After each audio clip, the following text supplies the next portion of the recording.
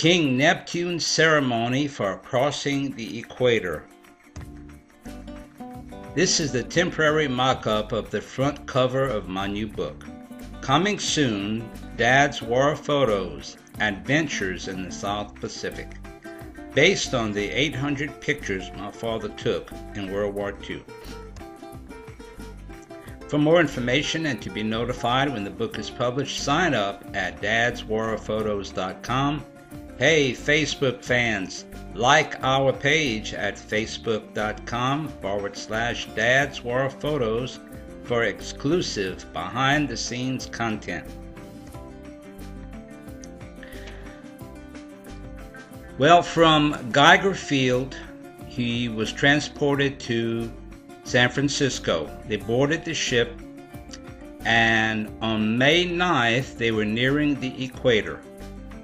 On May 11th, it says, according to the official military record, they crossed the equator. There is a centuries old ceremony held aboard Navy ships when someone crosses the equator for the first time.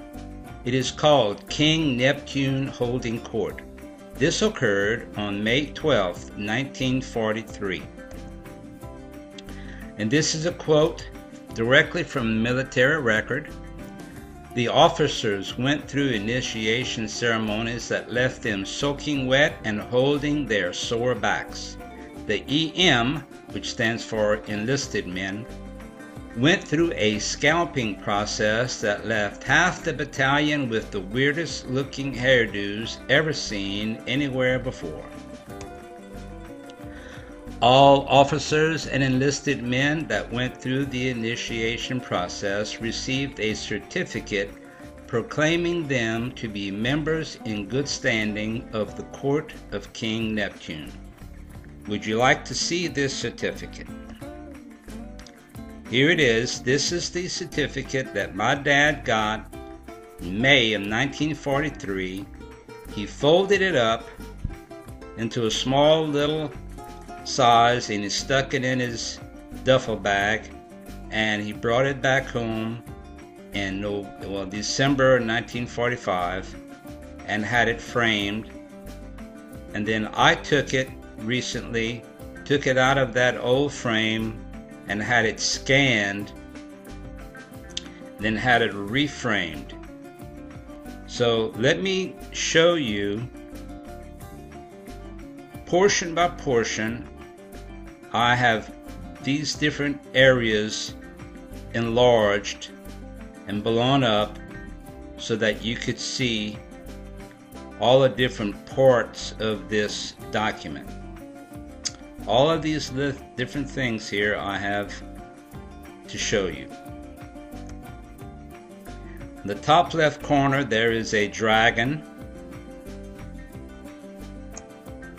Then there is the image of King Neptune and his aides in their chariot powered by some horses. Here is the top banner. It says domain of Neptunus Rex. Top right corner is another image of a dragon. The bottom left there is the seal of Davy Jones, His Majesty's scribe. In the bottom center is the eagle and flag. The bottom right we have the signature of Neptunus Rex and if you look closely the signature is made up of fish and a snake or an eel and his title is Ruler of the Raging Main. Then we have a mermaid in the bottom right corner and this is the wording and I can read this for you if you want. To all sailors, wherever you may be, and to all mermaids, sea serpents, whales, sharks, porpoises, dolphins, skates, eels, suckers, lobsters, crabs, pollywogs, and other living things of the sea. Greeting!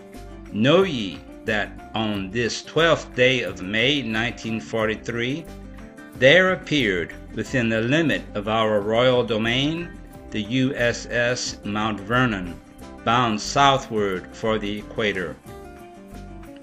Be it remembered that the said vessel and officers and crew thereof have been inspected and passed on by ourself and our royal staff, and be it known by all ye sailors, marines, landlubbers, and others who may be honored by his presence, that Charles C. Bertrand, having been found worthy to be numbered as one of our trusty shellbacks, has been gathered to our fold and duly initiated into the solemn mysteries of the ancient order of the deep. Be it further understood that by virtue of the power invested in me, I do hereby command all my subjects to show due honor and respect to him whenever he may enter our realm. Disobey this order under penalty of our royal displeasure given under our hand and seal this 12th day of May, Neptunus Rex. Here is a close up of the USS Mount Vernon, the ship that he was on. And here is the final document framed and on my wall. Thanks for watching.